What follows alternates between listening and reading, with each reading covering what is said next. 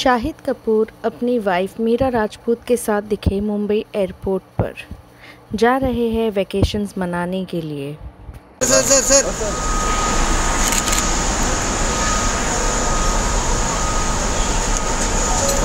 sir